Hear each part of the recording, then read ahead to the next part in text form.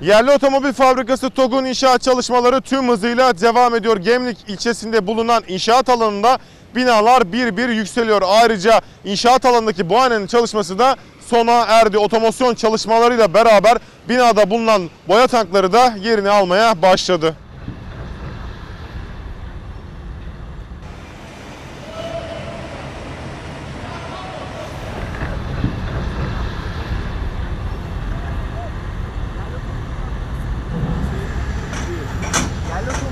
Tá tirando